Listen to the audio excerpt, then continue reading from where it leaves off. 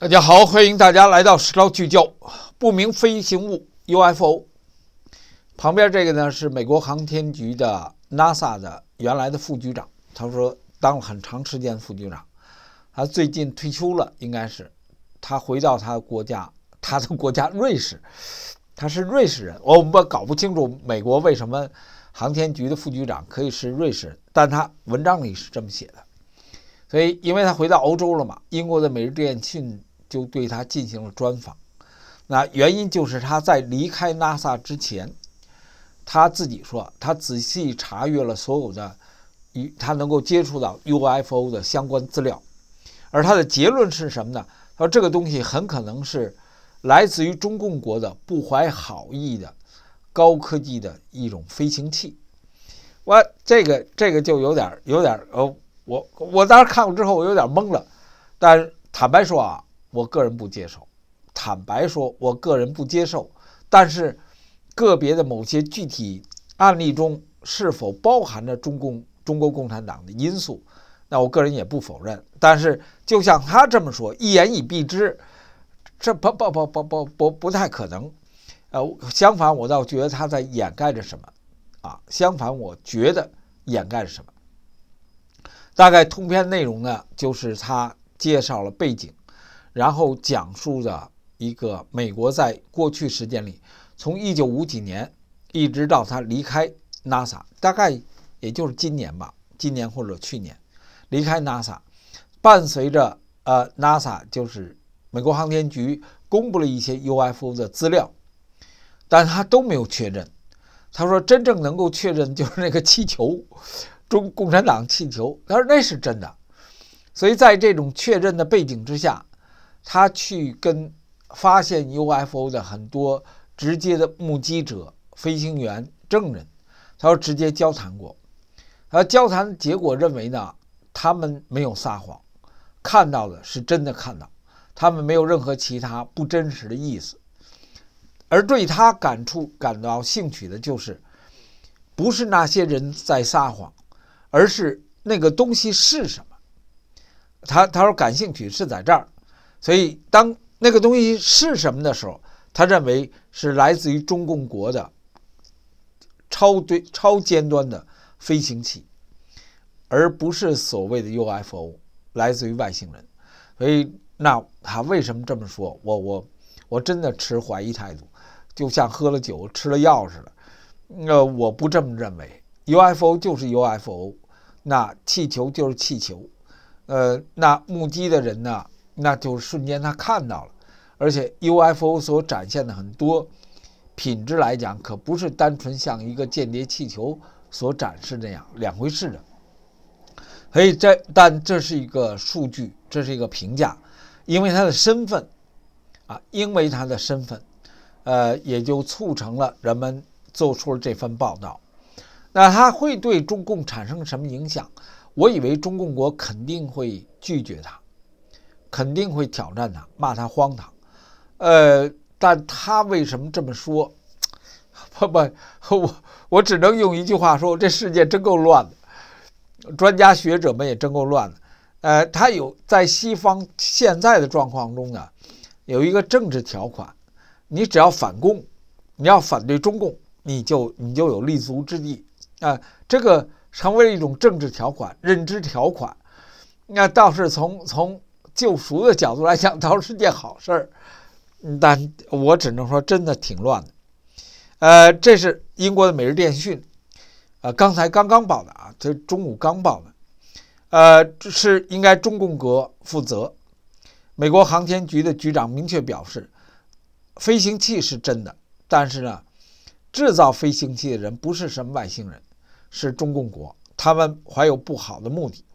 但也有人认为，它应该是真正的其他星球上的生命的证据，呃，这就不是任何其他问题了。我们刚才只能说这是一种政治上的做法，真的，我我觉得是一种政治上做法，所以 乱。呃，很多人认为是外星人，但有些专家认为这是中共国的。《每日电讯》报道，航天美国航天局。任命时间就是就职时间最长的副行政长官托马斯，呃，阅读了相关文件和目击证人交谈，他相信是中共国的东西。啊，这里面跟大家跟大家提出来啊，他这里很关键，就是他是副行政长官，啊，那将意味着他在真正的这个所谓科学认知上，呃，有多大的水平？但但有多大水平，你也不能这么一言以蔽之。但是，他就谈到谈到气球问题，就被打下来气球，啊，不仅。而他现在回到他自己的祖国瑞士苏黎世，苏黎世联邦理工学院，那那还还是专家了。呃，他彻底检查了所有证据，包括1952年在新泽西发现的。他说：“我跟飞行员交谈，目击者交谈，他们讲都是真的，我相信他们的真相，他们没有撒谎，没有编造。我的问题是我们他们看到的东西是什么？”所以，而不是他们撒谎本身，要证明他们的存在。很多解释，但是其中一个关键解释，就是他们来自于我们的敌人，是来自于地球上其他地方的技术，它可能是一种自然现象，包括云观我们以前没有见过的自然现象，甚至可能是相机自己造成的原因。如果他连相机造成的原因，作为一个专家，如果他连相机造成的原因都无以辨别的话，我个人倒怀疑他的水平。有人说：“涛哥，那不对，你你这替共产党说话不是？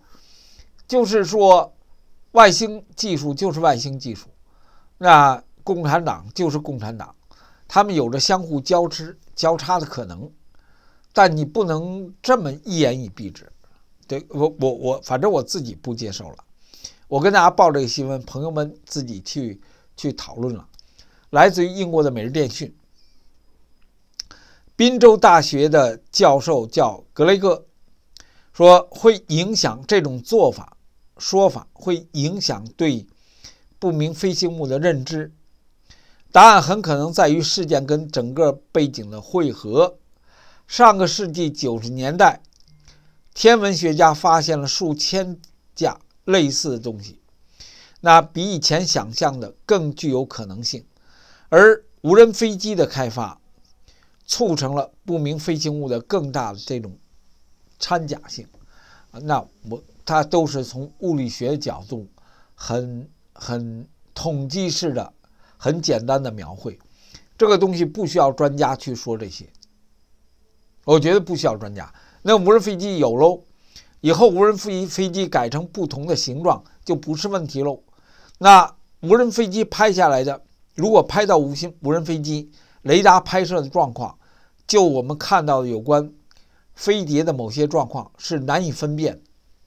但这不是问题，对不对？我真的觉得不是问题。正是人们把人自以为化、就自以为是的这种。科学专家们自己在把自己胡来，因为他把他自己当成神一样，是一个判断对与错、存在与不存在的一个原则。呃，专家是这么这个角度问题。新的敏感器、复杂技术，呃，促使军队使用更加精准的某种东西。那人们监测到军事行为的不良行为，这个。都是泛泛的说法，呃，这种泛泛的说法去去支持自己的观点，这就是今天的科学家。所以，我我我到现在我不接受啊。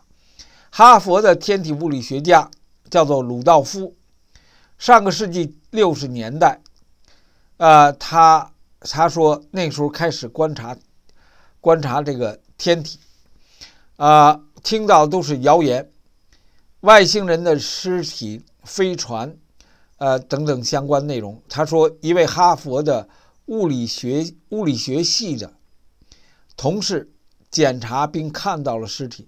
那我问他，他变得很不高兴，不想谈论这件事情。他同样是怀疑论。如果对 UFO、对外星人以这样的方式去怀疑的话，以这样的说法去怀疑的话，我倒个人以为这些专家学者自己在掩盖什么东西啊？自己在掩盖，为为什么掩盖？外星人不想让地球人讨论他们，这就是真正他们掩盖的缘由。也就讲说，认为外星人不存在的科学家，可能在受着外星人的影响，因为外星人已经进入到人的环境中，他不想被人讨论。而外星人当有这个能力的时候，足以把今天的天文学家跟 UFO 的专家当孙子玩儿这是很简单的事情。因为你地球上的很多科技是源自于外星人本身的，孙子跟爷爷叫板，爷爷知道怎么玩孙子，所以 UFO 的真正的拥有者，可能是这些人的这些专家的真正的呃控制者。感谢朋友们。